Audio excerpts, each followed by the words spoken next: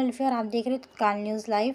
दुनिया भर में इस्लामी तालीम के लिए वाक़ दारुल ने लोकसभा चुनाव को लेकर बड़ा ऐलान कर दिया है। दारुल के उलमा किसी भी राजनीतिक दल के नेता का इस्तकबाल नहीं करेंगे और ना ही किसी नेता से मुलाकात की जाएँगी।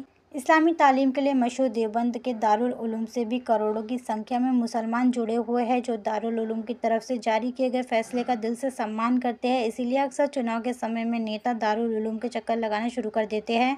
दारुल उलूम के मोहतमी मौलाना अबुल कासिम ने कहा कि किसी भी राजनीतिक दल का समर्थन नहीं किया जाएगा। कुछ वर्ष पहले पार्टी के एक मुखिया यहाँ आए थे। उनके साथ आए स्थानीय नेता ने पूर्व मोहतमिम का हाथ पार्टी के मुखिया के सर पर रखवा दिया था, जिसका बाहर गलत प्रचार किया गया। इस वजह से ये फैसला लिया गया है।